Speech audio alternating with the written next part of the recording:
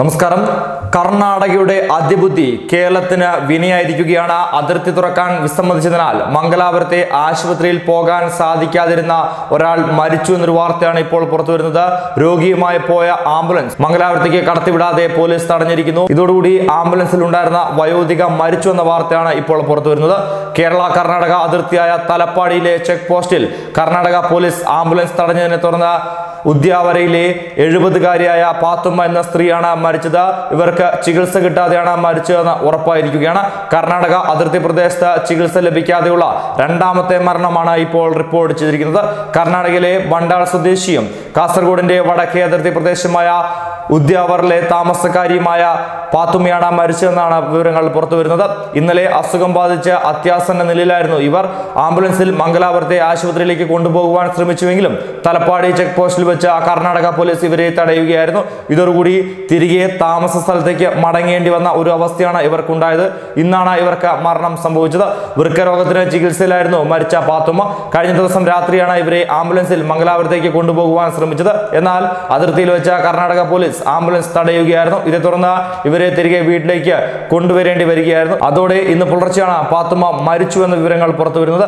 മംഗലാപുരത്തേക്ക് പോകുന്നതിനുള്ള എല്ലാ ഇടവഴികളും കർണാടക മണ്ണിട്ട് മൂടിയിരിക്കുകയാണ് ദിവസങ്ങൾക്ക് മുമ്പ് ശ്വാസ തടസ്സത്തെ തുടർന്ന് മംഗലാപുരത്തേക്ക് കൊണ്ടുപോകുവാൻ ശ്രമിക്കവേ അബ്ദുൾ റഹ്മാൻ എന്ന വ്യക്തിയും സമാനമായ സാഹചര്യത്തിൽ മരണപ്പെട്ടിരുന്നു. അതേസമയം കർണാടക സർക്കാരിന്റെത് നിഷേധാർഹമായ നടപടിയാണെന്നാണ് റവന്യൂ മന്ത്രി ഇ ചന്ദ്രശേഖരൻ അടക്കമുള്ളവർ വ്യക്തമാക്കിയത്.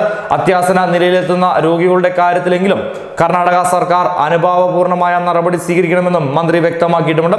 കർണാടക അതിർത്തിയെ മണ്ണിട്ട് അടച്ചതിൽ കേന്ദ്രത്തെ മുഖ്യമന്ത്രി പിണറായി വിജയൻ സമീപിച്ചിരുന്നു. വിഷയത്തിൽ പ്രധാനമന്ത്രിക്ക് മുഖ്യമന്ത്രി കത്തയക്കുകയും ചെയ്തിരുന്നു. അടിയന്തരമായി ഇടപെട്ട ചരക്ക് നീക്കത്തിന് സാഹചര്യമെങ്കിലും ഒരുക്കണമെന്നാണ് മുഖ്യമന്ത്രി ആവശ്യപ്പെട്ടത്. സംഭവത്തിൽ ആഭ്യന്തരമന്ത്രി അമിത്ഷാ ഇടപെടണമെന്ന് ആവശ്യപ്പെടുകയും ചെയ്തിരുന്നു. കർണാടക അന്തർ സംസ്ഥാന നിയമം ലംഘിക്കുകയാണെന്നും കേരളം വ്യക്തമാക്കി കഴിഞ്ഞു.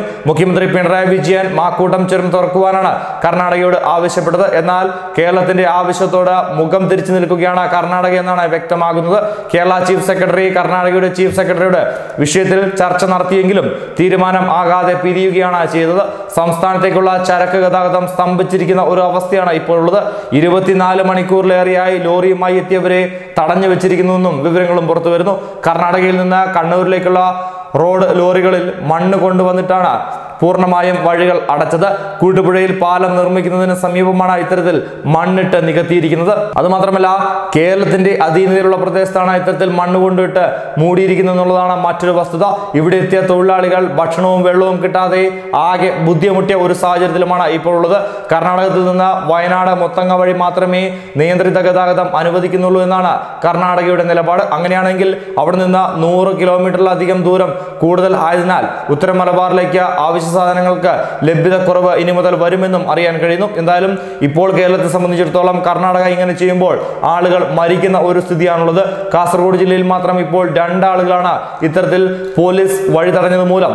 മരിച്ചിരിക്കുന്നത് ഇങ്ങനെ പോയാൽ കാര്യങ്ങൾ ഏത് സ്ഥിതിയിലായിരിക്കുമെന്ന് യാതൊരു പിടിയുമില്ല. കാരണം കാസർഗോഡ് ജില്ലയെ സംബന്ധിച്ചിടത്തോളം മംഗലാപുരമാണ് ഏറ്റവും അടുത്തുള്ള പ്രദേശം. വെറും അമ്പത് കിലോമീറ്ററിൽ താഴെ മാത്രമാണ് മംഗലാപുരത്തെ സൂപ്പർ സ്പെഷ്യാലിറ്റി ആശുപത്രികളിലേക്കുള്ള നീളം. പക്ഷേ പരിയാരം അല്ലെങ്കിൽ കാഞ്ഞങ്ങാട് ആശുപത്രികളിലേക്ക് ദൂരെ കൂടുതലുമാണ്. മാത്രമല്ല സൗകര്യക്കുറവും അതുപോലെ തന്നെ ഉയർന്ന ചെലവുമാണ് ഇവിടുത്തെ രീതികൾ. അതുകൊണ്ട് തന്നെയാണ് ഏറ്റവും കൂടുതൽ ആളുകൾ മംഗലാപുരത്തെ ആശ്രയിക്കുന്നതും. എന്നാൽ ഇത്തരത്തിൽ അത്യാസന നിലയിൽ പോകുന്ന ആൾക്കാരെ പോലും കർണാടക സർക്കാർ തടയുന്ന ഒരു സ്ഥിതി ഉണ്ടായാൽ ഒരുപക്ഷെ കടുത്ത പ്രതിഷേധത്തിനായിരിക്കും ഇത് വകവയ്ക്കുക. News desk. മലയാളി വാർത്ത.